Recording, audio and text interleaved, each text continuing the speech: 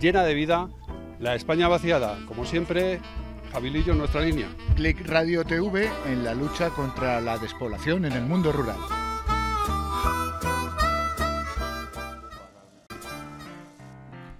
¿Qué tal? ¿Cómo están? Buenos días. Buenos días. Estamos donde tenemos que estar, donde tenemos que estar siempre. En nuestro cierre de temporada estamos en la capital de nuestro programa, en Orea, Guadalajara, el pueblo más alto de Castilla, de Castilla-La Mancha. Eh, Orea es un sitio muy emblemático para nosotros, ya lo saben, es un sitio muy querido, es un punto de referencia, es nuestra capital y hemos venido hoy, en esta última semana de julio, pues a cerrar temporada como tenemos costumbre, como hemos convertido ya en una tradición. En la lucha contra la despoblación del mundo rural, en la lucha en favor de la España vaciada, en Orea como siempre, tenemos un programa de lo más interesante. Hoy estamos en un sitio muy bonito de Orea. Lo que tengo justamente detrás de mí es la iglesia del pueblo, la iglesia de la Asunción. Lo estarán viendo en un ladrillo rojizo precioso, una construcción que en el interior, por cierto, tiene un retablo que merece la pena ver. Lo digo porque cuando vengan por aquí no se olviden de pasar al interior, si está abierto, al interior de la iglesia Y tenemos un montón de invitados que vamos a ir eh, pasando por esta mesa en este lugar eh, tan emblemático para nosotros, donde por cierto no hace tanto calor como en Madrid o como en la meseta, hace fresquito. Aquí por la noche hay que ponerse rebequita como en el norte, como en el norte de España. Es decir, parece que estamos en Asturias, en Cantabria, en Galicia. Es lo que tiene un país como el nuestro, ¿no? que te puedes venir a Guadalajara y estar con la sensación de estar viviendo en el norte. Es lo que pasa en Orea, por eso es un pueblo que queremos tanto, porque es un pueblo que nunca te deja de sorprender. Vamos a empezar enseguida. Eh, voy a ir presentando a los invitados. Algunos de los que están viendo ya los conocen sobradamente porque forman parte de nuestro programa, pero eh, con Irene Lavanda vamos a conocer qué más vamos a tener en el programa de hoy. Irene, ¿qué tal? Buenos días. Buenos días, ¿qué tal? Pues sí, tenemos además un elenco de lo más variado. En primer lugar, Rodrigo Calvo y Marta Corella, nuestros anfitriones. Y Marta le ha dado el relevo en la alcaldía a Rodrigo estos días y nos hablarán de todos sus proyectos. Hemos invitado también a Alfredo Barra, delegado del Comisionado para el Reto Demográfico en Castilla-La Mancha, un hombre preocupado e implicado en los asuntos que más nos preocupan en el Llena de Vida.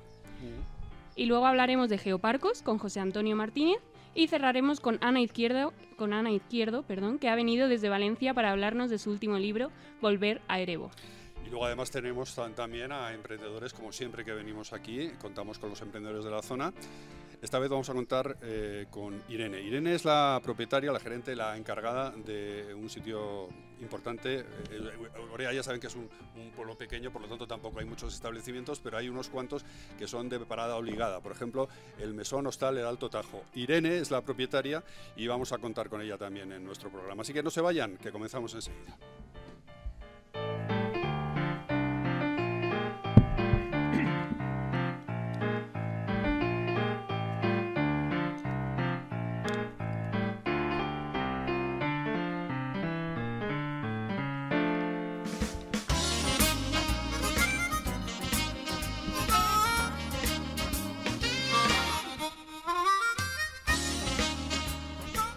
Tengo aquí a mi lado a Rodrigo Calvo, el nuevo alcalde de Orea, y tengo a mi lado también a nuestra queridísima colaboradora, punto fijo en nuestro programa, puntal del Llena de Vida, Marta Corella. ¿Qué tal? Marta, buenos días. Hola, muy buenos días. Estamos encantadísimos de estar, como siempre, contigo. Ahora quiero que me hables un poco de cómo ha sido este relevo con Rodrigo en la alcaldía de Orea, de nuestra capital. Rodrigo, buenos días. Buenos días, Javier. ¿Cómo llevas lo de ser alcalde, por cierto? Bueno, no me puedo quejar de momento. De momento, de momento. los primeros 100 días? No, todavía no. No, un mes, un mesecito y, pico ya puedes hacer? Eh, que es más complicado de lo que parece. De lo que parece. Es mucho más complicado de lo que parece. y sobre todo la atención ciudadana que es básico en los municipios tan pequeños, que es un trabajo arduo y bueno, y muy costoso. Eh, Marta, dice Rodrigo que mm, es más complicado de lo que parece. Esto a ti no te sorprende, ¿no? No, no, para nada. Para nada, ¿verdad? Bueno, a mí me decían, tú años ahí". ahora vas a dejar de mandar. Digo, no, no, ahora es cuando voy a empezar a mandar. Antes todo el mundo mandaba en mí. Porque eh, al final la- la- ser un, un alcalde de un pueblo de 197 habitantes, si lo estoy diciendo bien ahora, 197 habitantes. Bueno, ya somos un poco más de 200. Bueno, en verano mucho más. En verano somos Es 1500. estar continuamente hablando con los vecinos eh, desde el momento que sales de la puerta de tu casa. Que te están diciendo cosas, que te están reclamando cosas, ¿no? Bueno, es normal. En un municipio pequeño, el ayuntamiento es la institución pública más cercana a la ciudadanía. Es la primera institución, la más ágil, la que más rápido responde y la gente lo ve así y pu- recurre a ti para las cuestiones más peregrinas que te puedas imaginar. Eh, Cada, cada cuestión que a uno le está afectando mínimamente va y se lo dice al alcalde, incluso cosas que, que el alcalde Rodrigo en un momento dado dice, bueno, ¿y, y qué quieres que haga yo con eso, no? Vete a un psicólogo, vete, o qué. El alcalde, yo creo, eh, funciona en los, en los municipios tan pequeños. Es, eh, es una labor, eh, no sé cómo, no sabría ni cómo definirlo, pero eh, toca todos, todos los ámbitos que te puedes imaginar. Eh, yo qué sé, pues lo que dices tú, por ejemplo, pues puedes hacer de alcalde, pero puedes hacer de profe, puedes hacer de psicólogo, de, de contable, de financiero, de, de 100.000 cosas. De Y- mediador muchas veces, mediando. Mediador psicológico, ¿no? O mediador laboral, o mediador de, de cuestiones que van mucho más allá de lo que es un ayuntamiento. Efectivamente. ¿Cuáles son los principales retos que te has marcado en la alcaldía? Bueno, eh, el objetivo de- del ayuntamiento, y ya no solo mío, sino del equipo que hemos entrado, es seguir eh, apostando por proyectos innovadores, traer proyectos interesantes a nuestra zona.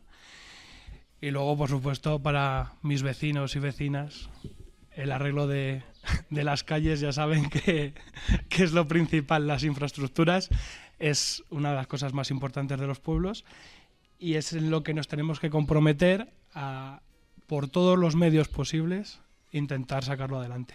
Eh, Orea es un pueblo, Rodrigo, que además esto ha tenido repercusión en medios de comunicación eh, de ámbito nacional, que se ha destacado hasta ahora eh, con Marta por eh, el gran acuerdo que hay dentro del ayuntamiento. Es decir, las decisiones, ahora nos contará Marta cómo se lo organizaba eso, las decisiones se tomaban por consenso generalmente en un ayuntamiento donde hay varios partidos como en todos. ¿no? Eh, eh, ¿Eso es complicado de seguir en esa línea o, o- o- vas a, o vas a No, hay que seguir esa línea. ese? Hay que seguir esa línea. La metodología de trabajo seguida estos años atrás ha sido, por supuesto, que se discutía y se ha discutido mucho. Sí, eso es primordial. Pero dentro de la discusión tiene que haber un punto de confluencia donde todos estemos de acuerdo o más o menos de acuerdo. Y es lo más interesante. Al final, los que hemos salido elegidos, eh, tanto yo como alcalde como mis compañeros concejales, eh, nuestra labor y nuestro deber debe de ser buscar lo mejor para el pueblo. Desde puntos de vista diferentes, a veces incluso contrarios, se puede llegar al- a un acuerdo y es lo ideal. Marta, eh, ayer estuvimos hablando contigo por la noche de cómo organizábamos esto del consenso y del acuerdo todos los años que has sido tu alcaldesa. Ahora hay que decir que Marta Corella sigue trabajando por el mundo rural, por el mundo de la despoblación, organiza todos los años aquí en Orea, que también solemos venir el Congreso de SOS Rural, y luego además pues es una mujer eh, que eh, se la conoce en toda España en los ámbitos que tienen que ver con esta lucha contra la despoblación. Pero te preguntaba, Marta, que, ¿cómo organizabas tú lo del, lo del acuerdo? Esto de que todo se saliera del ayuntamiento con acuerdo de todos. Bueno, esto no es una labor de una persona, esto es un- una actitud que, han tenido todos los compañeros que yo he tenido en el ayuntamiento, que ha sido una actitud de, generosidad, de tener cintura, de saber que lo prioritario es el pueblo y que eh, hay que acercar posturas. Y una de las máximas que siempre llevé es nunca se habla de las cosas que se van a tratar en el pleno fuera del pleno. Bueno, para que la gente entendiera que discutir no es malo, no lleva conflicto, no lleva enfrentamiento personal, sencillamente cada uno tiene una postura, todo el mundo la expone y hay que llegar a un término medio o a un acuerdo. Y cuando se llega al acuerdo, entonces es cuando se produce la votación. Y por eso todos los acuerdos, todos los acuerdos que se han aprobado en, este, eh, en, en los ocho años que he sido alcaldesa, se han aprobado por unanimidad. Y parece ser que eso pues, ha llamado la atención Y de ha los habido medios. fuertes discusiones, pero siempre dentro del ayuntamiento. ¿no? Sí, siempre. Y, ha y habido, lo que ha ha, habido- salido de ahí ha sido un acuerdo siempre, aunque haya habido de puertas adentro fuertes discusiones. Sí, siempre. Y además es que creíamos que era sano que la gente viera que hay distintas posturas, que se puede discutir y que no pasa nada, que eso no se tiene que llevar al ámbito personal y que, y que luego hemos salido todos y nos hemos ido a tomar algo juntos. Decir que eso, pero es una labor que, y una visión que se ha tenido con todos los miembros que han participado en el ayuntamiento, no solamente desde la alcaldía, porque tú puedes proponer algo o puedes intentar que esto vaya en una dirección, pero si hay eh, una persona, dos o tres que, que que no quieren o que no tienen ese- esa generosidad, pues es muy difícil llegar a, a ese punto. Y además, Mm. el ayuntamiento es la casa de todos y lo que pasa en el ayuntamiento se refleja fuera del ayuntamiento. Entonces, que en el ayuntamiento hay armonía es principal y esencial para que la armonía se extienda fuera de- del ámbito de, la casa de todos. ¿no? Luego hablaremos eh, de otro punto importante también con Marta y con Rodrigo, es el tema de la gestión de los fondos europeos. Marta Corella es muy especialista en, pedir subvenciones, en conseguir dinero, eh, pres- presenta proyectos, proyectos, proyectos y luego, oye, pues eh, siempre algo... algo- Algunos sale, sí. Algunos sale, ¿no? Eh, De eso se trata, ¿no? De presentar muchos para que salga alguno y eso es algo que no es habitual en los ayuntamientos españoles, incluso en ayuntamientos mucho mayores que, que el de Orea. Es fundamental saber pedir dinero y saber pedir dinero, por ejemplo, a, a los fondos europeos que manejan mucho dinero, muchas partidas destinadas al mundo rural. Rodrigo, ¿tienes algún proyecto de estos de subvención en mente? Muchos, ¿no? Tenemos varios, tenemos varios. Em, para contar aquí a los vecinos y, y que les pueda hacer más ilusión o les parezca más interesante, em, no sabría si decidir el del molino o el del ¿Tú vivero. mismo? ¿Tú mismo? ¿Cómo ves, Marta? El del vivero lo tienes que explicar tú, ¿eh? Bueno, vale. Pues Bueno, lo, cuento un poco por Cuenta el encima. del molino, Rodrigo. ¿El del molino? Sí. Venga, pues el del molino. Em, como sabéis, en Orea había dos molinos, el molino de abajo y el molino de arriba. Y bueno, eh, en la anterior legislatura se compró al propietario eh, la parcela y el molino, y la intención del Ayuntamiento de Orea es, mediante una subvención de fondos europeos, hacer un centro neurálgico muy importante de turismo y de un turismo enfocado a la etnografía y a la antropología. Es decir, cómo funcionaban antes esos molinos, cómo se trabajaba, qué se hacía. Es decir, trasladar a los jóvenes que ya no hemos vivido eso, y yo me incluyo, cómo funcionaba, para qué servía y que lo puedan ver, incluso hacerlo funcionar. Entonces estamos hablando de un proyecto muy importante eh, que asciende pues a dos millones de euros. Dos billones de euros de fondos europeos. Mucho dinero, ¿no? Aquí vamos a por todas. ¿Y eso en qué punto está, Rodrigo? ¿En qué punto de- Está, del proceso está? nada, está pedido, de momento está pedido y ahora hay que esperar a que nos contesten. ¿Y, y en cuánto tiempo se puede gestionar esto? Eso, ¿Cómo manejáis? Marta, tú eso lo pilotas un poquito mejor. Bueno, eh, decir también que, mm, que hay también planteados dos, em, em, dos sendas eh, en la ribera de los dos ríos sí, que conecten el molino con el municipio para que eh, sea una- un, un tránsito que, que una el molino con el pueblo. Y, y además también hay una parte que ha dicho muy bien Rodrigo, que es el tema etnográfico, pero hay una parte que es el tema de arqueología, ¿no? porque aquí en Orea eh, parece que tenemos integrados todos que eh, en la Edad Media llegó Manrique de Lara y nos repobló aquí a todos.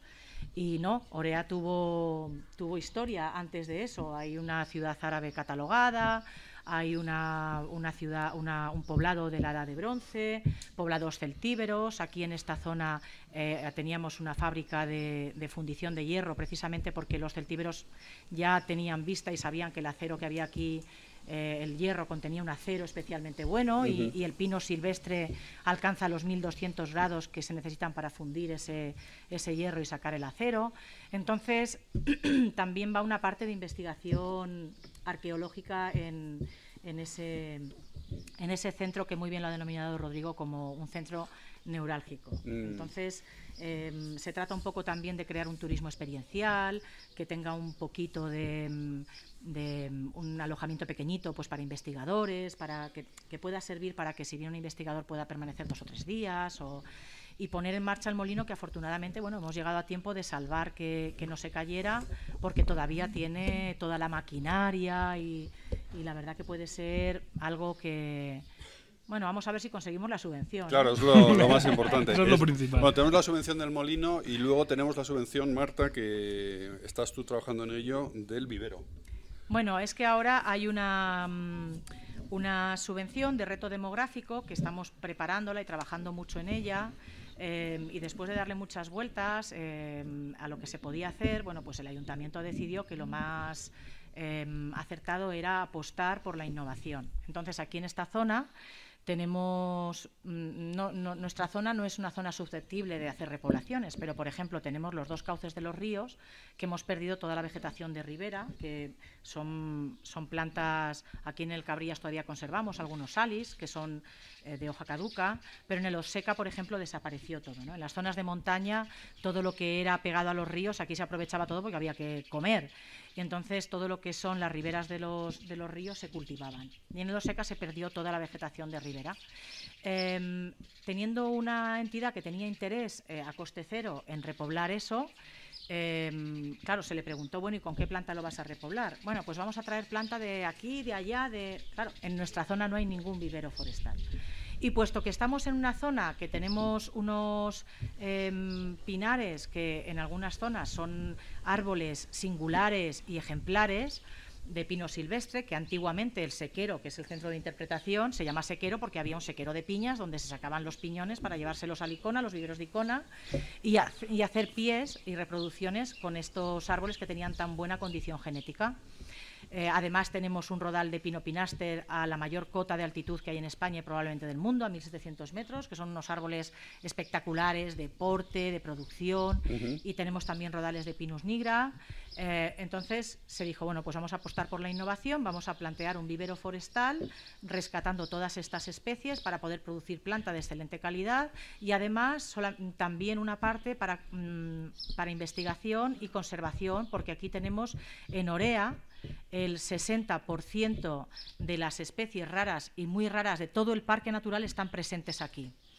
Entonces creíamos que era también una parte interesante de eso lleva añadido también formación, lleva innovación. eh, hay un estudio previo que hizo un chico de aquí de Orea, Marce, que le agradezco un montón su colaboración, que hizo un estudio de, de cultivo de de tulipanes, que resultó muy bien. Él no continuó, pero resultó muy bien. Lo ha puesto a nuestra disposición para intentar eh, diversificar y monetizar el vivero, porque luego se tiene que poder mantener, pues precisamente haciendo planteles de, de tulipanes, pudiendo vender la flor y vender los bulbos. Bueno, y ese es un poco hacia ese camino estamos encarando eh, el vivero. Decir también que ahora mismo tenemos un RECUAL. El RECUAL es un certificado de profesionalidad. Hay ocho personas eh, formándose en, un certificado de profesionalidad, que es el AGAR 0309, que es eh, de tema forestal que están eh, formándose, cobrando su sueldo durante ocho meses, un formador y un administrativo, y eso también es una subvención que conseguimos. Y puesto que para hacer ese certificado había que registrar y, y, mm, acreditar un centro de formación en el Ministerio de Educación y nosotros lo conseguimos, pues también va planteado un certificado de profesionalidad, que es el AGA 164-1, que va encarado a viveros, eh, jardinería y todo eso, que también va metido dentro de este proyecto para formación. Haga 164-1, se han dado cuenta de la cabeza que tiene Marta Corella, que se lo dice todo de memoria. Ella es ingeniera forestal, por eso eh, eh, bueno, se habrán dado cuenta también la cantidad de conocimientos que tiene ahí relacionados con el bosque, con el mundo forestal. Ahora la preguntaremos cómo ve el tema forestal, que sigue muy implicado, muy implicada como siempre en todo el asunto de- del bosque y de y los incendios, que el año pasado hubo muchísimos, este año eh, parece que lo estamos ahí aguantando un poco, pero el año pasado la mitad de lo que ardió en toda Europa ardió en España. Vamos a ver este año cómo, cómo el tema. Por cierto, en SOS Rural tuviste una ponencias interesantes relacionadas con el tema de los incendios, que también estuvimos hablando de ello. Vamos a hablar ahora con Alfredo Barra, que es eh, eh, experto en reto demográfico, es concretamente el delegado del comisionado del reto demográfico en Guadalajara, en la provincia de Guadalajara, delegado del comisionado del reto demográfico en Guadalajara, un cargo que se creó pues, a raíz de toda la estrategia contra la despoblación, a raíz de esa ley contra la despoblación que se puso en marcha hace ya un par de años en Castilla-La Mancha, una ley, por cierto, que es pionera, eh, que es la primera que se creó en España y que intenta desde el ámbito autonómico pues revertir, por lo menos poner algún dique legal a este proceso de despoblación que se vive en provincias como en Guadalajara, como en Cuenca, dentro de Castilla-La Mancha, como en Teruel, en Aragón. Ahora vamos a hablar con él, pero antes se estarán preguntando, bueno, ¿y esto de Orea por qué dice esta gente que Orea es su capital? ¿Qué es lo que nos ha movido a que Orea sea nuestra capital, la capital del Llena de Vida? Irene nos lo va a explicar ahora. Pues sí, hemos elegido que sea nuestra capital por ser un enclave único y un punto de encrucijada de caminos dentro de la España vaciada zona forestal entre Castilla y Aragón, y a pesar de su pequeño tamaño, es un punto de referencia de todos los que luchan contra la despoblación, gracias a personas como Marta Corella, colaboradora destacada de nuestro programa. Y para quien no lo sepa, Orea es un pueblo de 189 habitantes, pero ahora en verano aumenta considerablemente su población. Está inmerso en las comarcas de Molina de Aragón y el Alto Tajo, muy cerca de Teruel, y desde aquí nos queda a mano la serranía de Cuenca y Albarracín, que es un lugar único para parar, tomar fuerzas y seguir, y también para quedarse a vivir por aquí. En las pasadas elecciones, nuestra Marta Corella dio el relevo en la alcaldía a Rodrigo Calvo, otro de los grandes amigos del programa. Rodrigo Calvo, Marta Corella están con nosotros hoy. Ahora vamos a entrevistar a Alfredo Barra. No se vayan, que seguimos enseguida.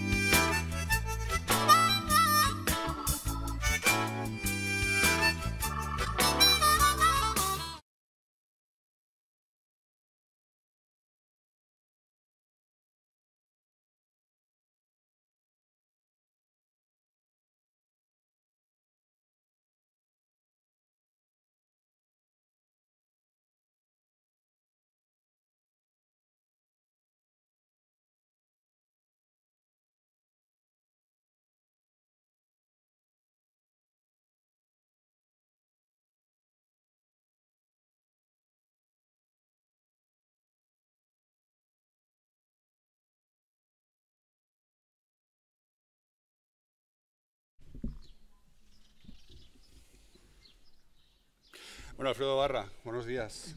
No sé si he dicho bien el cargo, es como muy enrevesado. Delegado en Guadalajara del comisionado del reto demográfico. Bueno, todo esto habría que desgranarlo porque habrá gente que diga, ¿y esto de que del reto demográfico qué es? ¿Qué es esto del reto demográfico tan importante como es? ¿no? Muy importante. Lo primero, buenos días a todas y a todos.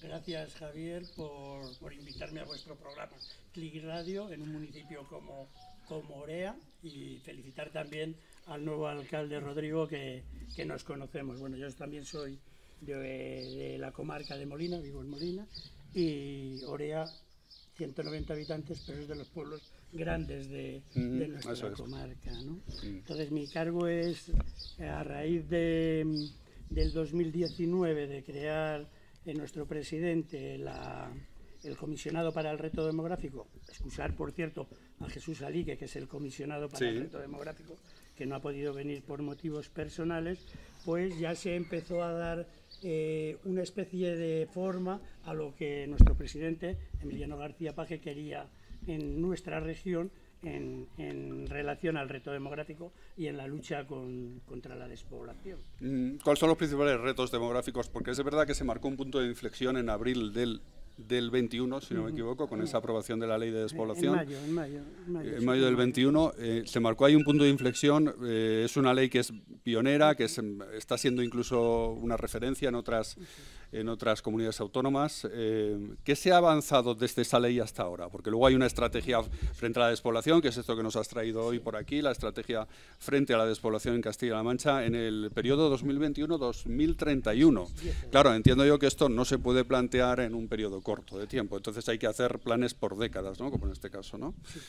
y que, y que sí, dame un resumen, ¿qué es lo que se ha avanzado? ¿Qué es lo que se ha avanzado en estos dos años y qué queda por hacer? Muy bien, bueno, pues a raíz de que se firmara un pacto contra la despoblación en Brihuega en el 2020, que se firmó con, con los representantes del tercer sector, fue como el principio para la creación de esta ley que, como bien has dicho, es pionera. Es una ley que tiene 77 artículos desgranados y un 10 disposiciones finales.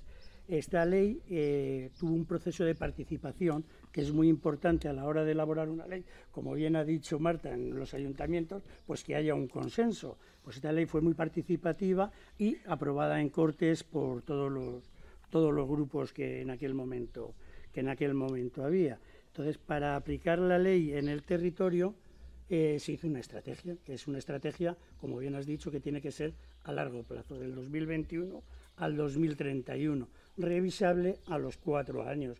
¿Por qué? Porque durante este periodo puede haber cosas que no funcionen o cosas que puedan funcionar. Entonces, en el 2025 va a haber una revisión de esta ley para añadir o quitar o quitar eh, actuaciones o objetivos específicos.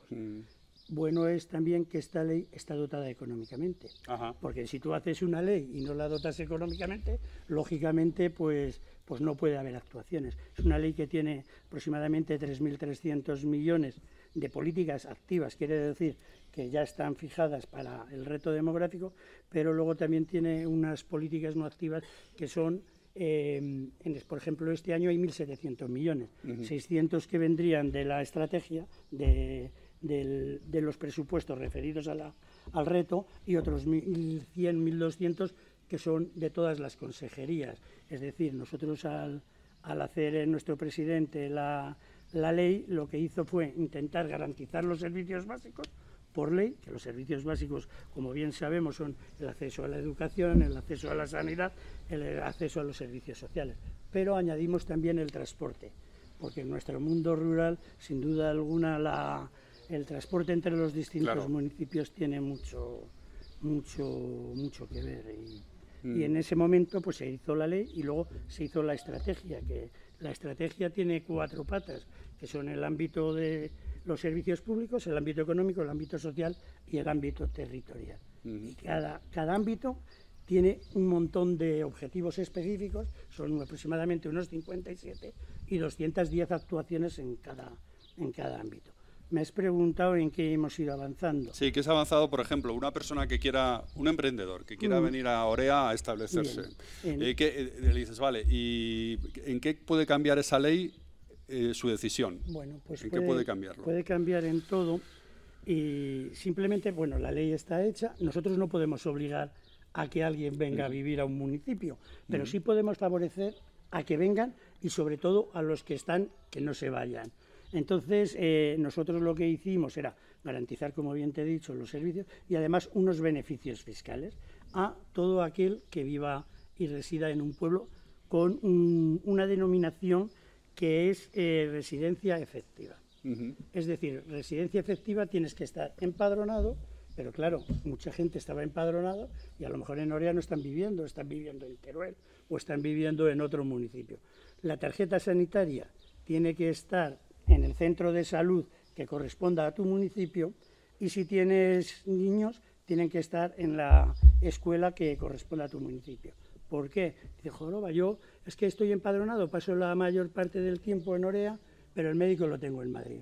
Claro, muchas veces eh, cuando no hay suficientes cartillas sanitarias en un territorio, hay gobiernos que lo que tienden es a cerrar los centros de salud. Nosotros garantizamos con esto que, los centros de salud sigan abiertos. En educación garantizamos que las escuelas con cuatro niños sigan abiertos, por ejemplo, o se abran. Porque, por ejemplo, en nuestra comarca, en Coveta, se ha abierto una escuela que llevaba cerrada 20 años. Eso es una labor gracias a un alcalde que se preocupa, a vecinos que quieren que sus hijos estudien allí y que se ha hecho una ley que garantiza que se pueda abrir esta escuela.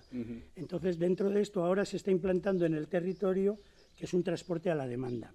Es lo que hablábamos, que está... Eh, para favorecer el transporte dentro de los pequeños pueblos que lo tienen muy complicado para moverse, ¿no? Hay gente que no tiene coche y ese tipo de cuestiones. Nosotros, por ejemplo, en nuestra comarca hay un transporte que es el transporte zonal, que es el transporte que va con los chavales del colegio, que se está utilizando en para bajar a Molina a comprar o para ir al médico o tal. Pero claro, perdón, esto tiene un horario, que es cuando viene el autobús, recoge a los niños, los lleva a Molina y tal. Nosotros lo que hemos hecho, o lo que ha hecho el reto demográfico, es una especie de Uber rural. ¿Con esto qué quiere decir?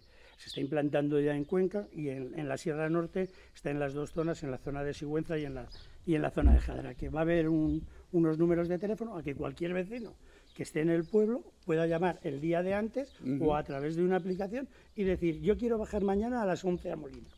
Entonces va a haber un, vehículo que va a venir a recogerlo y lo va Solamente con un vecino que lo pida. Solamente. Lo que pasa que que claro, si hay más vecinos dentro del territorio, pues lógicamente no va a bajar ese vecino a las 11, un vecino de Orea, y irá al instante luego a por otro. Hará un recorrido si hay más vecinos. Por eso tienen que solicitarlo el día de antes para que se haga una planificación del recorrido. Pero no solamente bajar a Molina. Es decir, yo estoy en Orea y me quiero ir a Checa.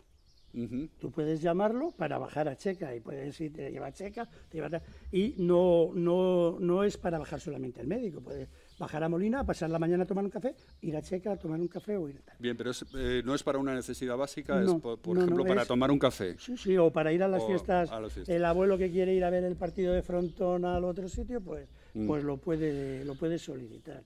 Nosotros, para aplicar la ley, que es una cosa muy importante, lo que hemos hecho ha sido una zonificación, mm. porque no todo en los municipios tienen el problema de la despoblación. La despoblación, yo voy a hablar de Guadalajara, porque lógicamente Guadalajara, bueno, la, zonificación se hizo en cuatro zonas, que son zonas escasamente pobladas, en riesgo de despoblación, intermedias y periurbanas. Mm. Las escasamente pobladas se han dividido dos en extrema e intensa que estas van en función de habitantes por kilómetro cuadrado. Las escasamente pobladas son de 0 a 12 y las de riesgo de despoblación de 12 y medio a 20, las periurbanas o intermedias de 20 a 50 y las periurbanas más de 50. Pero dentro de las escasamente pobladas hay dos, de intensa y de extrema. Mm. De, de extrema que es de 0 a 8 y de extrema que es de 8 a 12 y medio. Mm. La zona de Guadalajara son 288 municipios los mm. que componen, pero Guadalajara es una provincia que muchas veces eh, dicen que es la provincia que más crece de España. O sea que tiene dos realidades. Eh, te quería preguntar porque la provincia de Guadalajara es un poco enrevesada para el tema de la despoblación porque tiene una zona muy, muy despoblada, por ejemplo en esta que estamos, toda la comarca de Molina, pero luego tiene una zona que es un motor económico increíble, que es todo el corredor de Lenares, pero que eso eh, crea luego unas estadísticas que no, tienen en cuenta la despoblación a la hora de recibir ayudas y todo eso. Eso es un problema grave, ¿no? Por eso, por eso se ha hecho la la zonificación para la aplicación de la ley. Porque se ha quedado fuera Guadalajara de ayudas europeas por no dar en esa estadística que en la que sí que entra en Teruel o Cuenca o Soria, ¿no? Eh, Guadalajara es un es una en, lo que dices tú de Teruel, Cuenca y Soria, eh, el presidente en la Comisión Europea fueron a defender que Guadalajara tenía que entrar en esta zona como zona adyacente. Es decir, eh, Guadalajara tenemos los mismos problemas, esta parte que linda con Teruel, la parte de arriba que linda con Soria y la parte que linda con Cuenca. Entonces participamos, es más, incluso yo llegaría a decir que tenemos más despoblación en muchos municipios que estas zonas. Entonces ellos han ido a defender el, el que Guadalajara podamos ser catalogados dentro o podamos entrar en estas ayudas por zona adyacente, que hay un artículo que ahora no recuerdo cuál es, en el que nos pueden permitir, de hecho la comisión aceptó la solicitud que hizo nuestro presidente Emiliano García Paje cuando fue a Europa a defender que Guadalajara entráramos, entráramos en esto. Y como bien has dicho, 260 eh, municipios, 268, somos de extrema despoblación, no solamente la comarca en la que nos encontramos, la Sierra Norte y la Alcarria. Es decir, todo lo que es de ámbito de del corredor de Lenares, que va como un tiro económicamente. Cada vez se están estableciendo más empresas y demás, eh, excepto ese, esos 20 municipios, Guadalajara, Alovera, Zuqueca, Cabanillas, todo eso, dijéramos hasta Torija, Trijueque, que es el ámbito del corredor de Lenares, los demás somos de extrema despoblación. Dentro de cualquier habitante que estemos en, en extrema despoblación y que cumplamos lo de la estancia efectiva a la hora de hacer la declaración de la renta, todo lo que la hayan hecho en la anterior, la han notado que tenemos un beneficio porcentual de un 25%. En los municipios de menos de 2.000 habitantes de estos que he nombrado. En Guadalajara hay cuatro que son más de 2.000, que es Molina, Sigüenza, Brihuega y Uceda. En estos municipios, en vez de tener un 25, tienen un 20. Pero aparte de ello, también en la compra de una vivienda hay un 15% también de desgravación a la hora de hacer el IRPF. Y a cualquiera persona que se venga de otra comunidad o de otra a vivir en, en la nuestra, durante los dos primeros años tiene un beneficio de 500 euros en, en su declaración. ¿sabes? Entonces han, han, han enarbolado desde el reto demográfico unos beneficios fiscales para que sea más... Claro, todo eso lo podemos hacer dentro de lo que nos corresponde autonómicamente, Claro. dentro de nuestro porcentaje, que también nuestro presidente está implorando al gobierno de España, al que se forme ahora o al que se ha formado, en que lo lleven a cabo también. Ahora ha tomado posesión García Paje de nuevo, el 8 de julio. ¿Alguna novedad en cuanto al reto demográfico? Bueno, ahora de momento están formándose todo lo que ha sido su equipo de gobierno, que ha habido algún cambio, y se están nombrando todavía los distintos representantes en cada zona. Mm. Sin duda alguna, el reto demográfico eh, tiene un- una autopista ya hecha en la que novedades eh, pues se pueden ir implementando, pero las novedades son las que hay.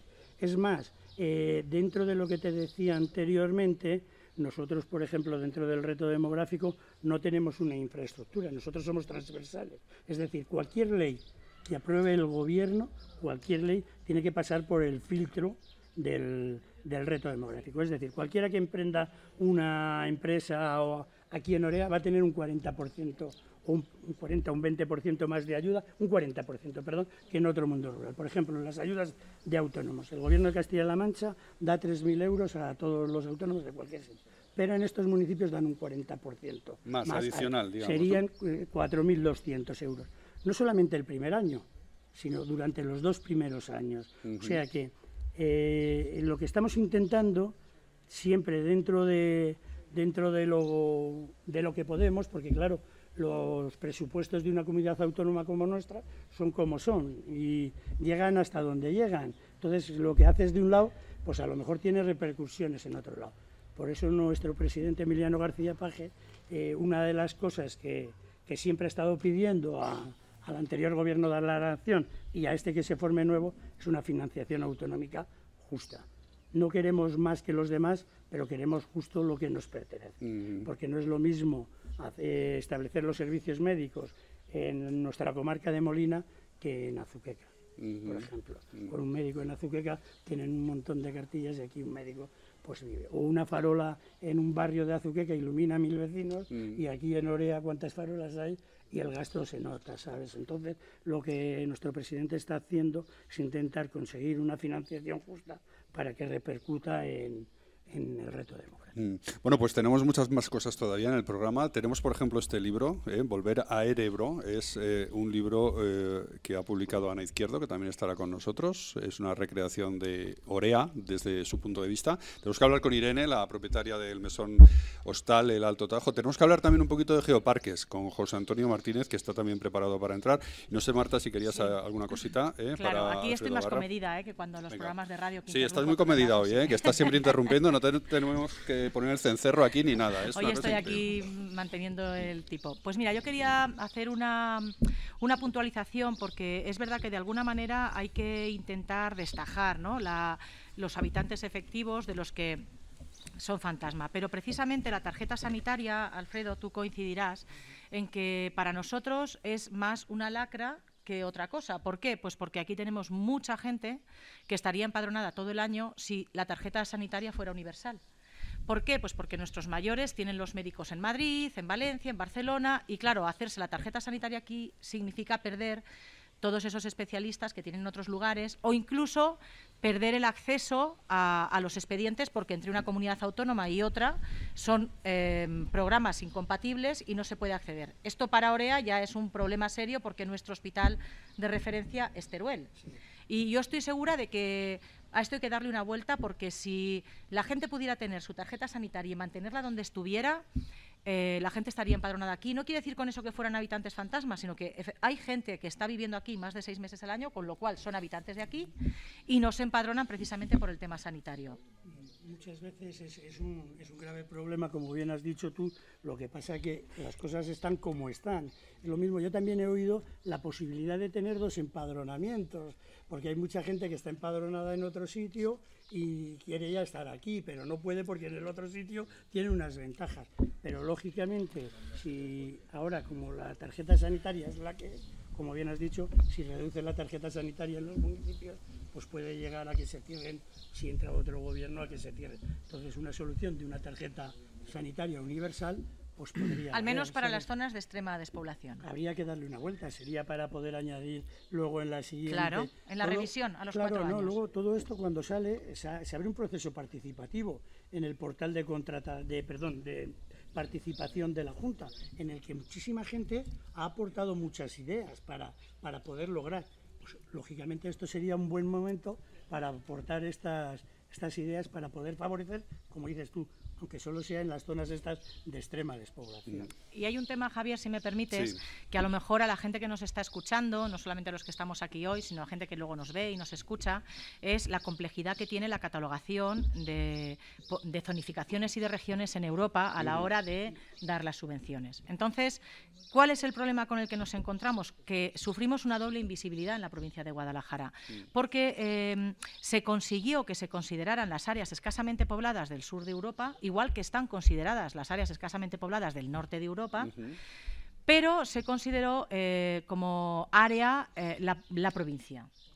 Claro, en nuestro caso, al considerar la provincia, solamente eh, se consideraron Cuenca, Soria y Teruel. Y Guadalajara, pues lo que te digo, nuestra zona vuelve a sufrir una doble invisibilidad porque tenemos el corredor de Lenares y según todas las estadísticas nuestra provincia crece. Entonces, ¿eso nos afecta? Mucho. ¿Por qué? Pues porque la intensidad de subvenciones que salen de Europa depende de cuál es tu catalogación. Y nos afecta en todos los sectores, desde el agrario, el forestal, el sector terciario, en todos los sectores. El no estar catalogados como una zona eh, escasamente poblada del sur de Europa. Esa eh, apreciación que está haciendo Marta, lo comentábamos antes también, claro, sería más conveniente en ese caso la, tomar la comarca como referencia a la hora de recibir ayudas, ¿no? nuestro gobierno lo que está haciendo... Porque el corredor de Henares aquí actúa como un freno a la hora de, recibir gobierno, El gobierno de Emiliano García Paje lo que ha hecho es que Europa vea que nosotros hemos tonificado que la provincia de Guadalajara, como bien ha dicho Marta, es el corredor de Henares,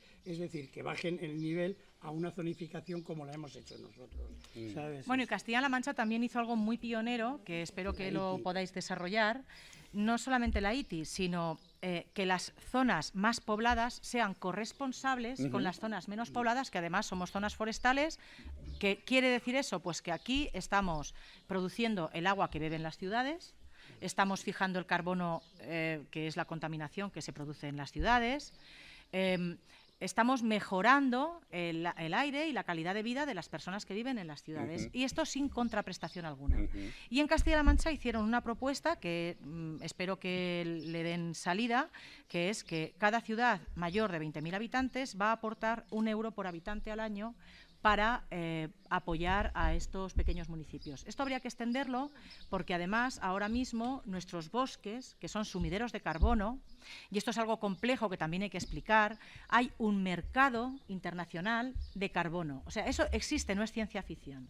Y las empresas que están contaminando compran toneladas de carbono fijado para hacerse un lavado de cara. Es decir, yo contamino menos porque estoy pagando una captura de carbono. ¿Qué pasa? Que en el mercado regulado, esto escribí un artículo que si lo queréis podéis Sí, yo he leído varias cosas tuyas en relación que con, se llama este tema. Eh, pobres, eh, se llama ricos pero indigentes, hablando precisamente de estos ayuntamientos que son propietarios de estos bosques, que eh, en el mercado regulado de carbono solamente se contemplan las repoblaciones. En nuestro caso no necesitamos repoblación, necesitamos gestión, que es la mayor lacra que tenemos en estos momentos es la falta de gestión en nuestros bosques. Estamos en medio de un cambio climático, necesitamos bosques más resilientes y para eso hay que seguir gestionando. Orea tiene una historia de gestión que es dramático porque hasta los propios habitantes de Orea hemos perdido la cultura forestal, pero nuestros bosques entraron en, el primer, en la primera figura de protección que hubo en España, en Europa y del mundo, que es el catálogo de montes de utilidad pública. Y Orea entró en el primero.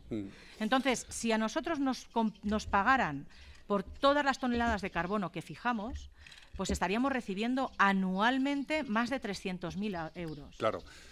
Ese cálculo le ha hecho Marta en otras ocasiones. A mí esto me parece, Alfredo, realmente esto hila con el mundo forestal y la repoblación desde lo forestal, ¿no? Como lo forestal al final tiene un papel imprescindible en llenar de vida eh, muchos pueblos españoles, ¿no? Sin duda alguna, la zona en la que nos encontramos, como bien dice Marta, toda la zona del Tajo y de el, Alto, Tajo, eso es, pues es una zona que antiguamente estaba súper explotada de recursos madereros y proporcionaban unos grandes ingresos en los pueblos. Desde el gobierno regional eh, se salieron una línea de ayudas que en concreto la mancomunidad de la Sierra, eh, eh, han, han, accedido a ellas y han hecho una han modificado sus estatutos para que no sea cada municipio el que vaya la del Alto Tajo, vale. La que, para que no sea cada municipio el que, el que venda sus recursos forestales, sino que lo hacen en conjunto. Han accedido a una línea de ayudas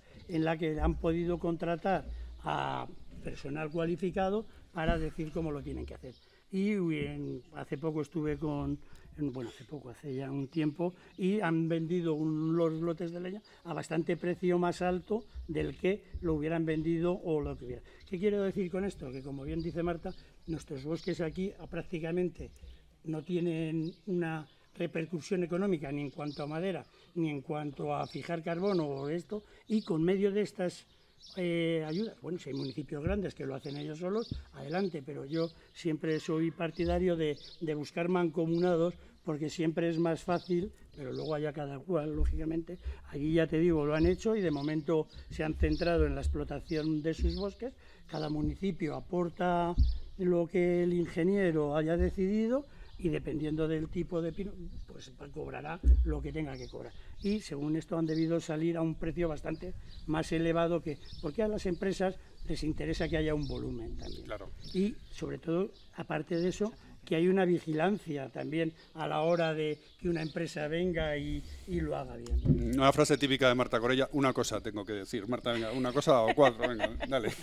Bueno, es que al hilo de la gestión forestal presentamos un proyecto eh, a la Fundación Biodiversidad también por un importe de dos millones de euros en el que el territorio nos mantuvimos un poco como acompañantes, eh, que está implicada la Fundación COPADE, de Cooperación para, el Desarrollo y Comercio Justo, a la que yo me incorporé y estoy trabajando. Eh, implicamos al CSIC, implicamos a, mm, a UFIL de Cuenca. Eh, para precisamente hacer una plataforma forestal que uniera a todos los municipios, porque uno de los problemas de hacerlo mancomunado es que los ayuntamientos forestales pueden acogerse al régimen especial agrario, con lo cual no tienen que pagar IVA. O sea, es el 12%, pero si no superan una cantidad, que son 250.000 euros al año, no tienen que pagar, eh, se lo retienen, se lo quedan.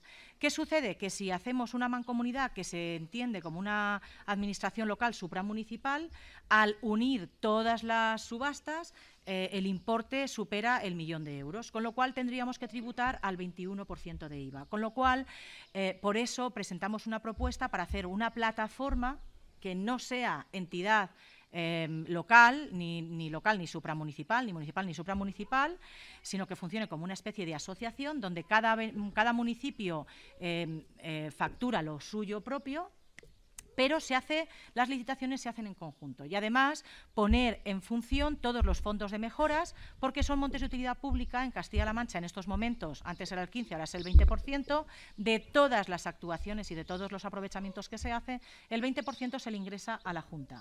Y ese 20% ha de retornar. Bueno, eh, la Junta se queda un pequeño porcentaje y tiene que retornar. ¿Qué pasa? Pues que no hay medios humanos suficientes para poder dar salida a todo ese dinero de los fondos de mejoras y eh, haciendo la plataforma es una manera de movilizar esos cientos de miles de euros que están ahí encapsulados y que es muy difícil darle salida para un pequeño ayuntamiento. En Orea, pues bueno, por suerte o por desgracia, su alcaldesa era ingeniera forestal y hemos gestionado fondos de mejoras porque la ingeniera alcaldesa pues eh, firmó proyectos y gestionamos de forma directa fondos de mejoras creando varios puestos de trabajo para limpiar, por ejemplo, toda la canal de la Oseca.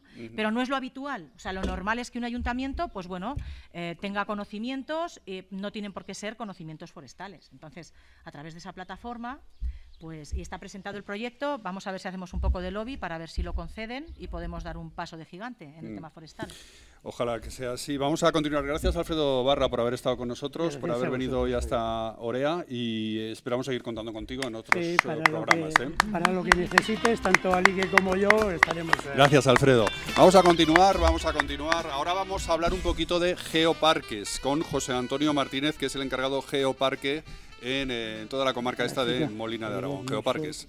Enseguida volvemos.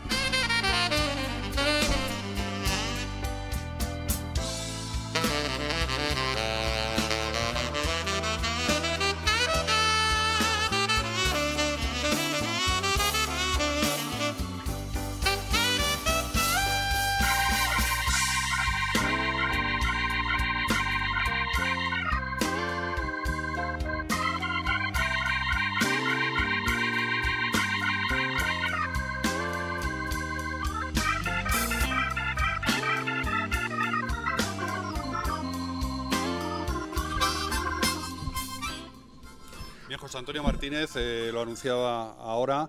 Eh, vamos a ver, en primer lugar, vamos a ponernos en contexto. José Antonio, ¿qué tal? Buenos días. Gracias por venir también a Orea. Tú estás eh, habitualmente en Molina, en Molina, ¿eh? Eso es, Molina Molina de Aragón, digamos que Molina de Aragón es el pueblo más grande, por eso da nombre a la comarca, comarca Molina de Aragón. Y mm, en primer lugar, para situarnos, ¿qué es un geoparque? Bueno, eh, buenos días a todos. Gracias a Rodrigo y a Marta por darnos esta oportunidad. Sí. Un geoparque no es un espacio protegido, aunque el nombre pueda parecerlo. Es un reconocimiento de la UNESCO al patrimonio geológico. O sea, a la riqueza que nos aportan las rocas, pero no una, una riqueza porque podamos hacer un aprovechamiento comercial de ellas, sino porque son, tienen otro tipo de importancia. Nos cuentan cómo ha sido la historia de la Tierra, nos cuentan cómo funcionan los procesos que se dan en ella. Es una red, es un programa de la UNESCO que está formada por una red de territorios que son casi 200 en todo el mundo y se trata, uno de los objetivos principales es conservar este patrimonio, que lo, conez- que lo conozcan las comunidades que viven en ellos, que se aproveche como dinamización para su economía eh, de, una, de una forma eh, sobre todo sostenible. Sostenible. Siempre utilizamos esta, esta palabra para el tema de geoparques, para el tema geológico, para el tema forestal también. Eh, Cuando venimos a Orea, generalmente hablamos de, de lo forestal, del bosque. Pero en cuestión de geológica, que también tiene una riqueza importante Orea, en cuestión de rocas. tiene una riqueza importante mm, desde dos enfoques. Lo primero, porque si es una zona de sierra y, es- y tiene bosques, es porque tiene unas condiciones que son mm, proporcionadas por una geología particular, pero es que además tiene unos paisajes preciosos que son un recurso turístico muy importante, pero lo que tal vez no conoce la gente es que eh, son formaciones geológicas que nos hablan de episodios apasionantes de la historia de la Tierra, que nos hablan de cómo eh, han sido los procesos que han dado lugar a los paisajes. Por ejemplo, el río de Piedras de Orea es un- una formación sorprendente, pero nos está hablando de los procesos que se daban durante la era glacial aquí. Entonces, a estos paisajes que en sí son espectaculares, si le sumamos esa riqueza que les aporta el que nos cuentan cómo ha, si- cómo ha sido la historia de la Tierra, Dejan la huella todas las generaciones que han ido pasando por aquí, todas las épocas, ¿no? En todos los rocas. episodios nos han dejado unas rocas en las que eh, los investigadores son capaces de extraer la información que hay sobre cómo era la vida en la Tierra en el momento en que se formaron. Son unos episodios mm, apasionantes la mayoría de las veces y además aquí en Orea tenemos episodios desde hace más de 400 millones de años hasta la época de los dinosaurios o la edad de la era glacial, que ya es mucho más reciente, y tenemos un registro de, de los episodios de la historia de la Tierra sorprendentes.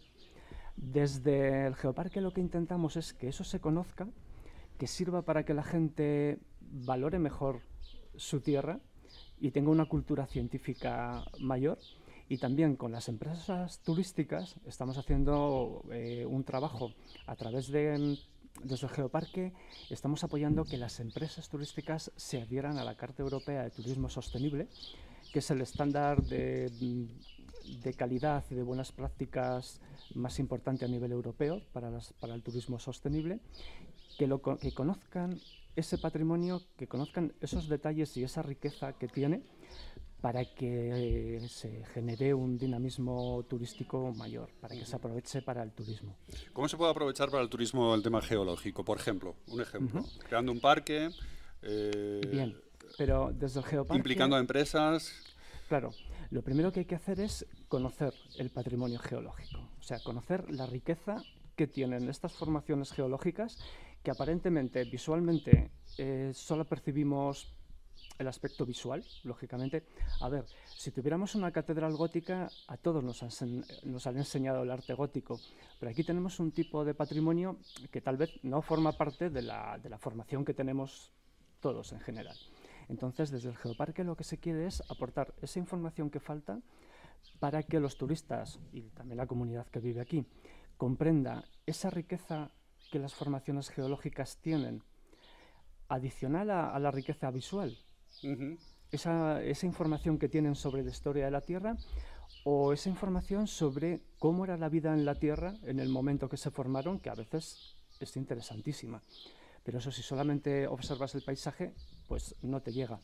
Desde el Geoparque queremos que eso se conozca y que este paisaje, eh, nutrir con esa información el producto turístico para enriquecerlo más y que se aproveche de ella eh, la comunidad que vive aquí, pero también que se aproveche para el turismo y que se convierta en un motor de la economía. ¿Y cómo es vuestro trabajo, José Antonio, en el día a día? Tú estás en Molina, estás en el Geoparque.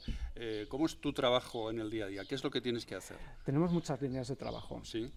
Eh, por ejemplo, un proyecto que tenemos ahora es toda la cartelería que está instalada y que nos habla sobre el patrimonio geológico, estamos convirtiéndola a soportes digitales para que toda esta información mm, que es necesaria para entender la importancia del patrimonio geológico esté, sea lo más accesible, no solo a través de carteles, sino también eh, a través de soportes digitales, a través de los móviles, de los ordenadores, para que llegue al máximo a, la gente, para que esta, toda esta riqueza sea lo más visible posible.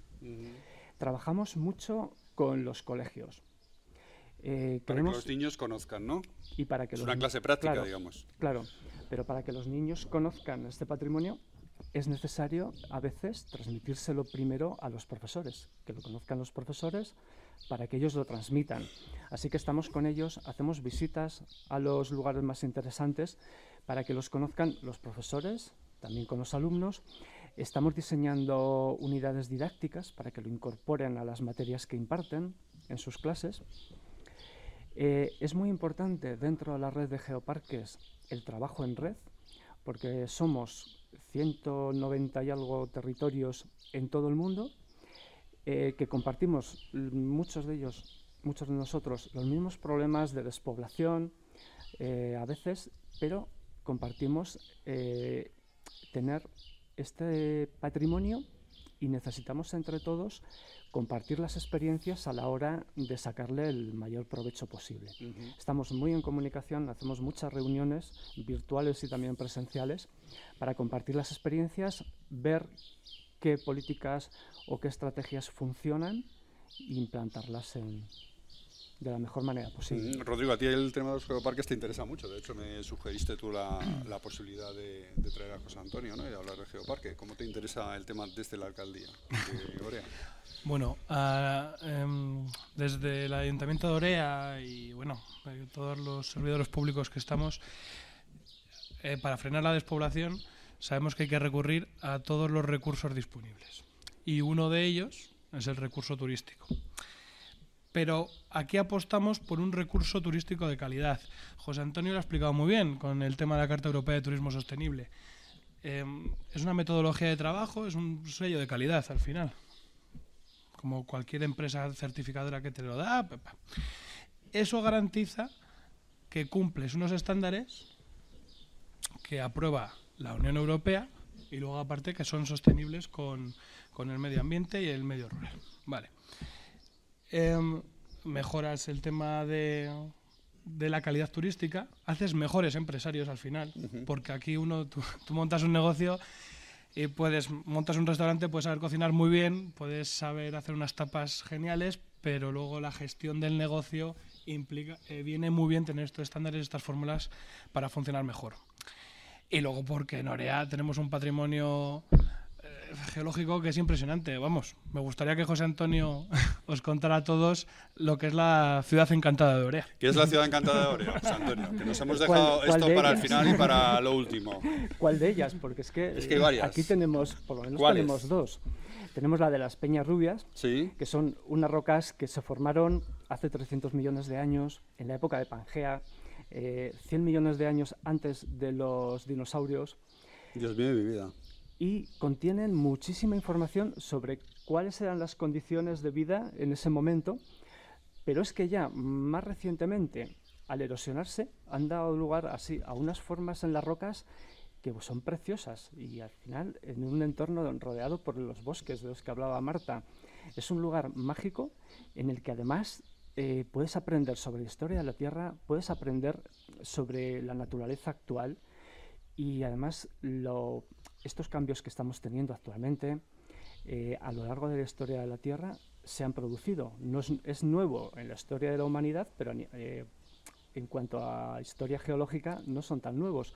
Con lo que es muy interesante conocer qué eventos han ocurrido en la historia de la Tierra en la antigüedad, en tiempos geológicos, para tratar de un poco de capear lo que nos está ocurriendo ahora. Y yacimientos como este de la ciudad encantada de las Peñas Rubias nos aportan mucha información para saber cómo funciona la Tierra, cómo ha funcionado en el pasado y lo que podemos esperar para el ¿Te futuro. refieres a desastres naturales, cambio climático? Cambios climáticos, sobre todo, pero es que a escala de millones de años, a escala de historia geológica, los cambios eh, son, son radicales. Desde glaciaciones, como sabéis, cuando se formó... Y eso lo reflejan las rocas, ¿eh? Por ejemplo, el río de piedras que tenemos es un reflejo de la glaciación, de la última glaciación. Las, las rocas que forman la ciudad encantada de las Peñas Rubias son un reflejo de las condiciones que había en Pangea cuando era un desierto extremadamente árido, con unas condiciones de aridez terribles. Y, por ejemplo, la ciudad encantada de los castillos fríos son unas rocas más antiguas todavía que nos hablan de una época anterior a Pangea, de hace 400 millones de años, cuando había unos continentes que no tienen nada que ver con los actuales. Y también eh, cerca de aquí, cerca de Orea, hay formaciones que nos hablan de glaciaciones, que no son estas del cuaternario, sino son glaciaciones de principios de la era primaria. Y nos hace ver un poco que la historia de la Tierra es cíclica, los eventos se repiten y que nosotros tenemos que comprenderlos para adaptarnos a ellos de la mejor manera posible. Castillos Fríos. eh, yo creo que eh, esta tarde nos vamos a pasar por Castillos Fríos. Yo te invitaría, José Antonio, no sé si te puedes quedar y hacer una grabación allí, que nos expliques Pues, qué nos están diciendo esas rocas. pues no me puedo que por negar. otra parte es un paraje precioso, ¿eh? que no me puedo Bueno, no negar. te puedes quedar, tienes que No, trabajar. no, que no me puedo negar. Ah, que no te puedes negar. Ah, No vale. me puedo quedar, digo, vaya. Pues mira, en Castillos Fríos, aparte de toda la información geológica, luego es un paraje impresionante para ver un atardecer. Decía Marta que mejor atardecer que, at- que amanecer en Castillos Fríos. ¿o cómo? No, mejor amanecer que atardecer. Mejor amanecer que atar- que atardecer. Y para ir allí, pues a enamorarse de lo que sea, ¿eh? o, con tu, o con tu pareja incluso. O en fin, aparte ya de lo que te digan las rocas sobre la los tiempos naturaleza, remotos. ¿eh? Eso es, a disfrutar la naturaleza en el sentido más amplio. Si, pu- si además comprendes cómo se ha formado geológicamente, vas a encontrar una riqueza adicional mayor. Es un mirador increíble del cielo también, ¿eh? Y si además lo aprovechas lleno de para energía. hacer observación astronómica, pues ya la experiencia ya es completa. Y, y yo me atrevo a decir que pocos lugares te pueden aportar tanto enriquecimiento personal como estos paisajes como los que hay aquí en, en Orea.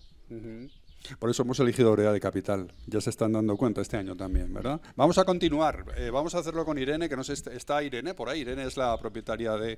eh, Irene. Bueno, pues Irene es eh, la propietaria del mesón eh, Hostal El Alto Tajo. Luego vamos a comer allí, también se lo recomendamos porque es un sitio, Rodrigo, ideal, ¿verdad? Para ir a comer por ahí, ¿verdad? Totalmente. Para comer comida casera y muy buen precio, muy buena comida, es unas vistas estupendas.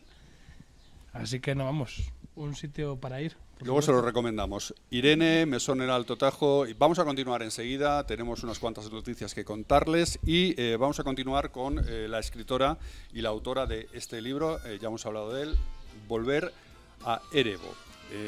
Ana Izquierdo ha venido desde Valencia, ha venido para estar con nosotros. Enseguida volvemos.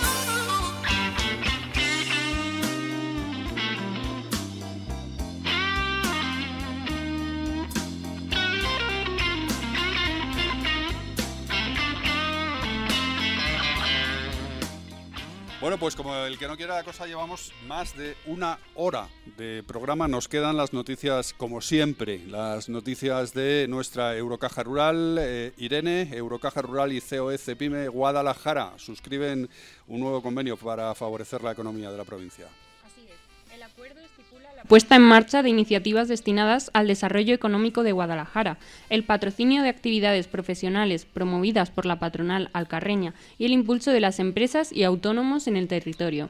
De manera conjunta, han acordado una vez más la colaboración de la entidad financiera en una nueva edición del Programa de Apoyo a Emprendedores de la provincia de Guadalajara, en la Guía de Socio a Socio 2023 ser copatrocinador de los premios Excelencia Empresarial y respaldar el 17 Foro de Recursos Humanos de la provincia alcarreña, junto a otras muchas jornadas informativas dirigidas a empresarios, autónomos y emprendedores en materia económica, fiscal, social o legislativa, entre otras. Y sabemos también, Irene, que la actividad de Eurocaja Rural aportó 993 millones, 923 millones de euros al PIB y generó 14.252 empleos en 2022. Así es. La actividad de Eurocaja Rural tiene un impacto significativo en la economía nacional. Así lo ha confirmado el estudio Impacto Económico de Eurocaja Rural en 2022, realizado por el Instituto Valenciano de Investigaciones Económicas, IBI.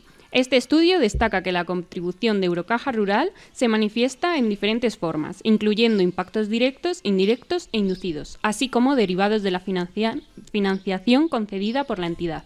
Estos impactos se traducen en mejoras en la renta, generación de empleos, aumento en la, recaudación fiscal y reducción de la exclusión financiera.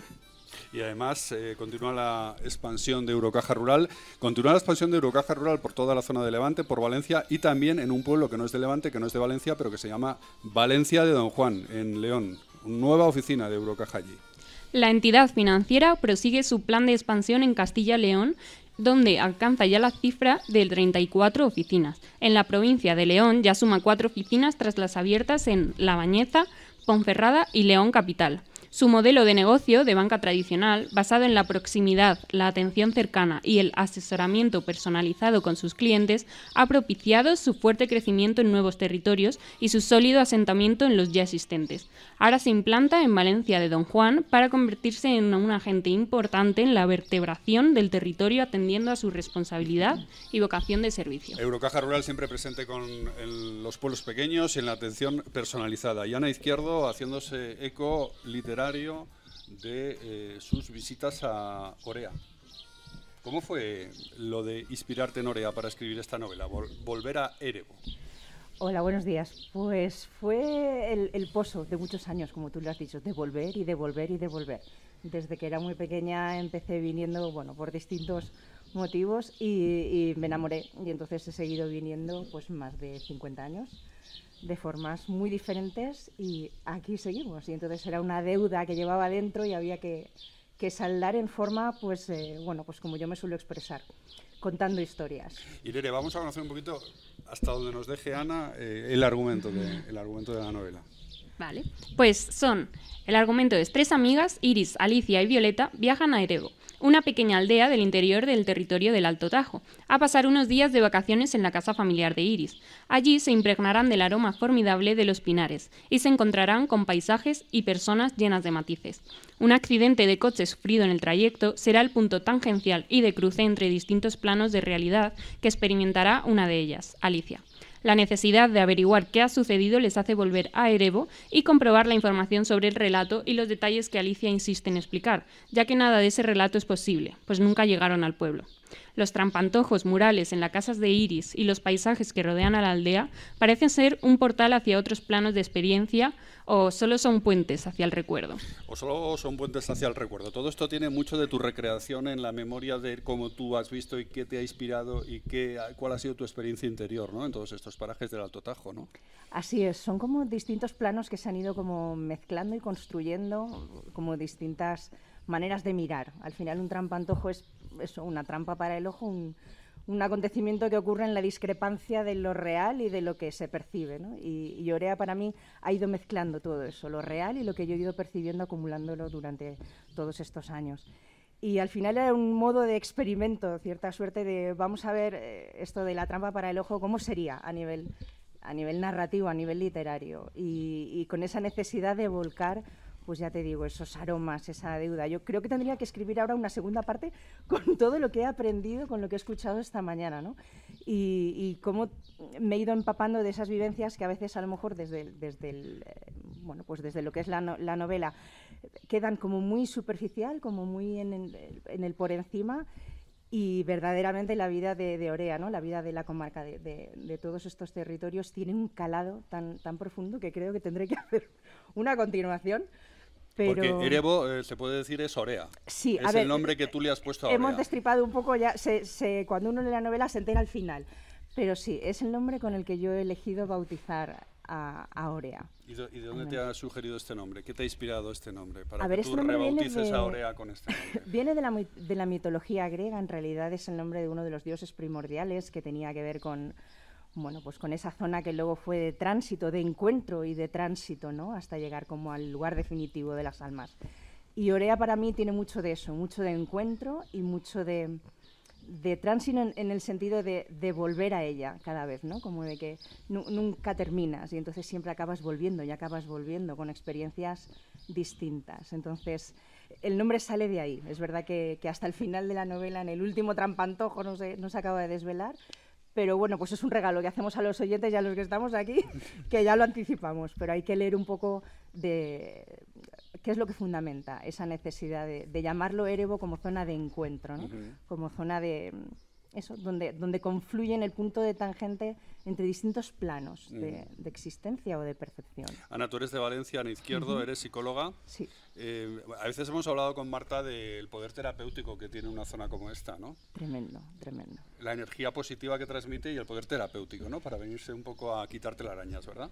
Es magia. Yo, eh, conforme me voy acercando ya una vez, o entro por Cella o entro por Santa Eulalia, depende, ¿no? Pero conforme me voy acercando, todo mi toda yo va como asentándose, sosegándose, y cuando ya estoy aquí estás como en otro modo. No solo porque es verdad que, a ver, ha coincidido que, claro, ciertamente son vacaciones cuando vengo. A nivel laboral es difícil poder, poder compaginarlo, ¿no? De todas formas he pillado ideas de lo que habéis dicho aquí también, de las subvenciones, tal, digo, bueno, voy a ver cómo lo organizo. Pero claro, de momento mi realidad impera a nivel laboral en Valencia y cuando vengo es verdad que además estoy de vacaciones.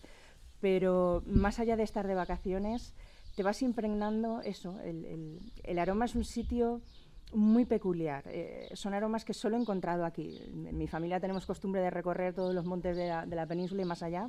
Y hay veces que estamos en otro sitio y decimos, huele como a orea, o sea, no, tiene un olor propio que a veces identificas y, y es muy personal, muy particular de la personalidad de, estos montes. Es, un, sitio lleno de personalidad, los montes universales, Corella. Montes universales, ¿por qué se llaman montes universales? Pues fíjate, eh, Jaime Izquierdo, que es el comisionado para el reto demográfico de Asturias, que mm. ha visitado Orea varias veces, es amigo y es un referente en el tema del desarrollo rural, y me dijo, yo pensaba que era lo más de lo más porque vivía en los picos de Europa hasta que llegué aquí a los montes universales y se, se me desmontó el chiringuito.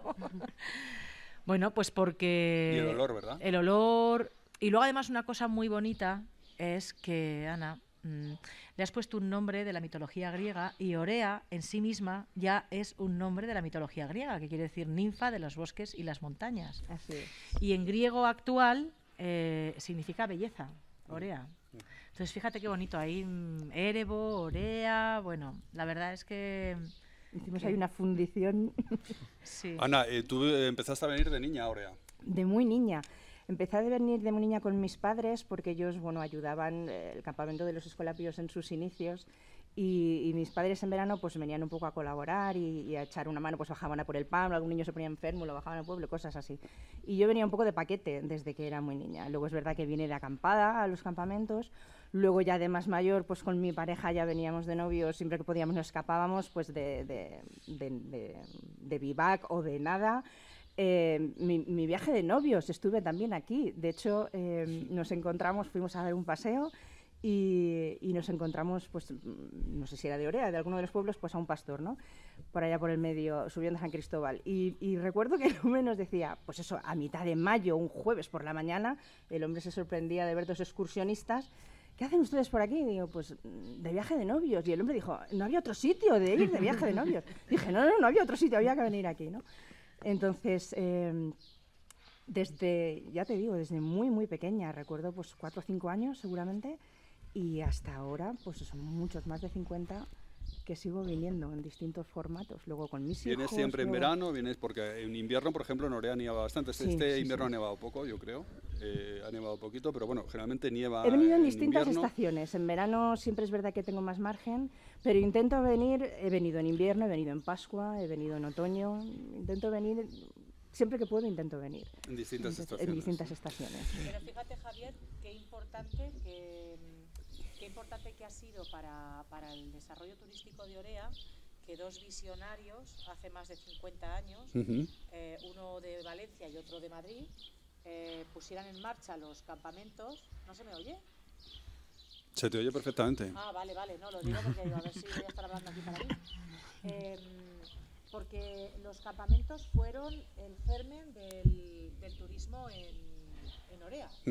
Hoy en día sigue habiendo campamentos, mucha actividad de campamentos. Claro, tú piensas que 50 años de personas pasando por aquí también han modelado un poco y modulado la visión que tenemos en Orea de la gente que viene de fuera. o sea, otros pueblos en donde se ha metido el turismo rural a capón no termina de cuajar porque la gente no es receptiva. Y sin embargo en Orea ya teníamos percibido eh, que los campamentos eran fuente de ingresos para Orea, eh, lechos de, trabajo para las mujeres, que en aquel momento era casi lo único que daba trabajo a las mujeres aquí en Orea, y que, y que el, turismo fue creciendo, sostenido desde esos campamentos hacia arriba.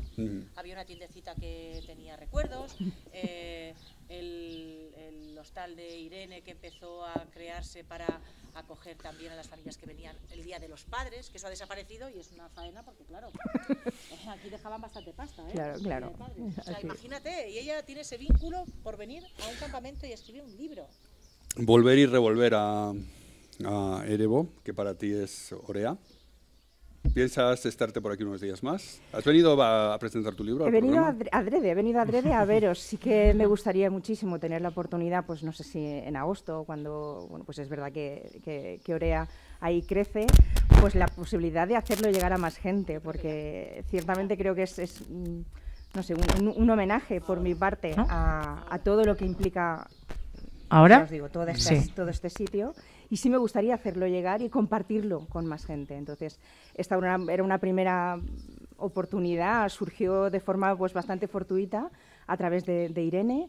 Y, y, sí me gustaría, claro que sí, porque es mi manera de agradecer todo lo que todo lo que he podido vivir aquí y todo lo que me queda. Entonces, sí, me gustaría, sí, hacer otra visita. Pues, volver y revolver y volver a volver. y volver. Javier. Ana Izquierdo, gracias por estar con nosotros presentando tu libro. Rodrigo, dime, cuéntame cosas. Nada, yo, a ver, que eh, quiero recomendar sin ninguna duda el libro de Ana. Eh, Ana, muy amablemente, dejó una copia para Irene en, el, en el Alto Tajo, en el Hostal Alto Tajo, y trajo otra para el ayuntamiento, que ahí la, ahí la tengo dedicada. Y dije, bueno, después de comer, digo, leo un poquillo, a ver si me entra el sueño, me echo la siesta. Pues llegaron las 8 de la tarde, no me dormí y el libro me lo había fulminado en, en nada. Eh, Ana tiene un estilo al escribir eh, muy cinematográfico, es digamos es, es mucha acción, no es nada aburrido, no te, no te pierdes, está todo súper bien explicado. Cuando lees el libro ves Orea, Claro, ya sí, lo, sobre todo si ya lo sabes de antes, lo ves, lo sientes y, efectivamente lo hueles. Y, recomendarlo de verdad porque, porque es un libro, es una novelette, ¿no? Mm. Ana. Mm. y, Está muy bien escrito además, hay que decirlo. Y ya digo yo que a mí me ha encantado. Volver a Orea de Ana Izquierdo. Este, Ana, te vamos a pedir que nos lo dediques para la biblioteca del Llena de Vida, Click Radio Televisión, ¿eh? para tenerlo ahí en nuestra biblioteca, que ya tenemos una biblioteca Lillo, una biblioteca de libros rurales bastante importantes. Pues vamos a ir terminando, vamos a ir terminando el programa. Llevamos una hora y tres cuartos de programa. A ver, Lillo, cómo encajamos luego esto. Lo estamos emitiendo, por cierto, no sé si lo he dicho, es el día martes 25 de julio, patrón de España. Buen día también para hacer un cierre de temporada y lo emitiremos en Click Radio Televisión el próximo viernes, Irene, el próximo viernes 28 y a, través de todas las emisoras, también a través de todas las emisoras de, asociadas a Click Radio TV, en las redes sociales y en todas las emisoras asociadas. Irene. Nos podéis escuchar en Armonía Duero, Castilla y León, Radio Diámetro Canarias, Vicus Radio Galicia, Radio Turia 78 Valencia, Sonido Beas Radio Huelva Andalucía, y Más y Más Radio Navarra.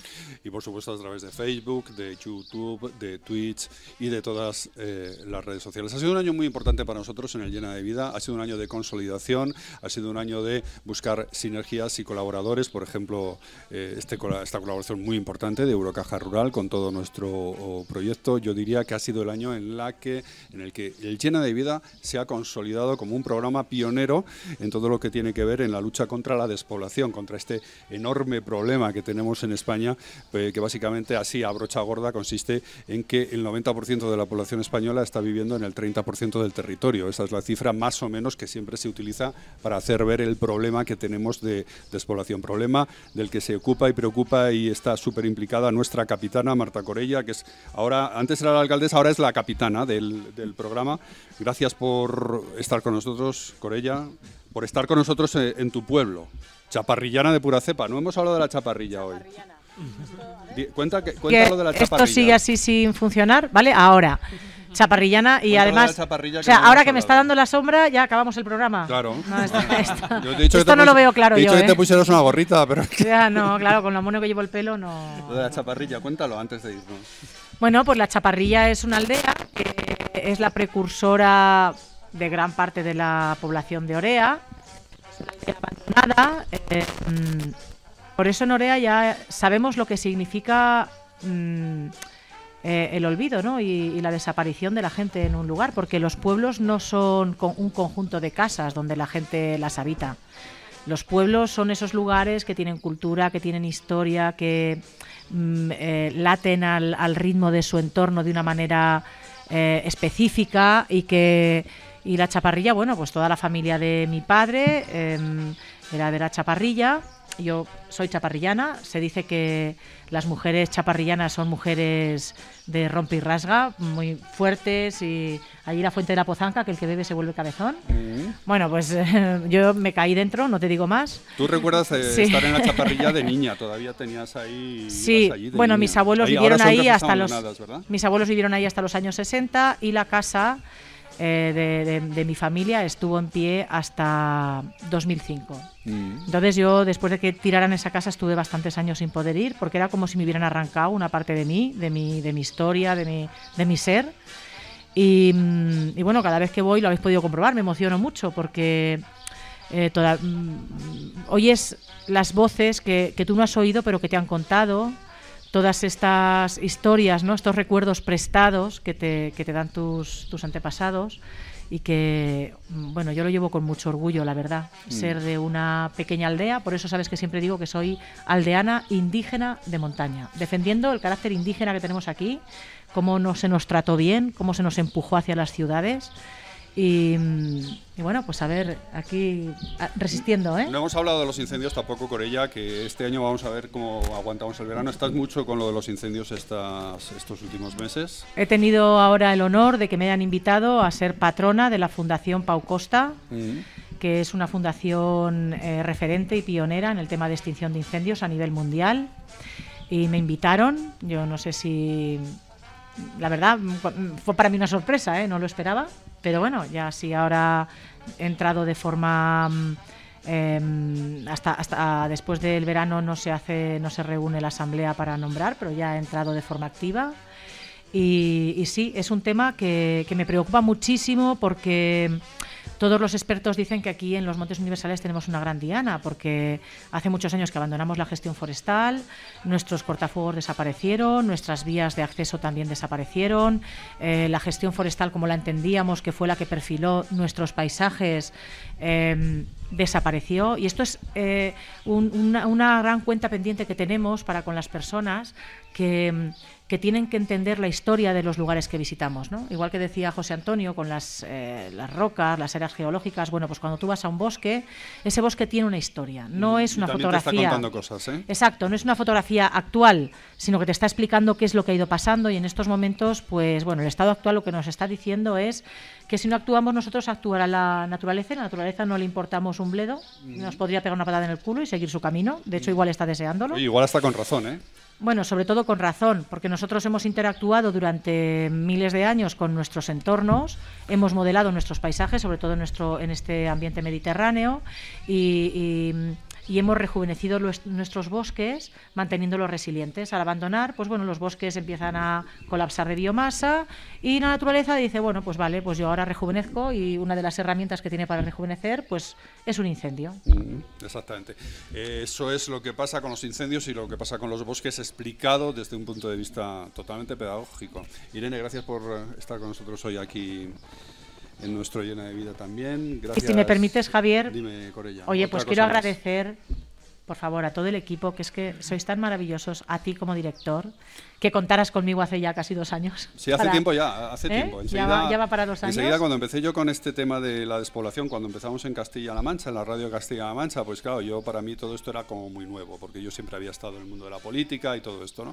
Y entonces, pero era un tema que me atraía, entonces, claro, buscando a ver a quién, a quién busco yo que tenga que ver con todo esto, pues enseguida no sé quién fue, me dijo, hay una alcaldesa en Castilla-La Mancha que se llama Marta Corella, que es una mujer que es el premio Orgullo Rural y que está muy, me parece que fue el año que te dieron el premio, que está muy implicada en todo este asunto y que te puede ser una muy buena colaboradora.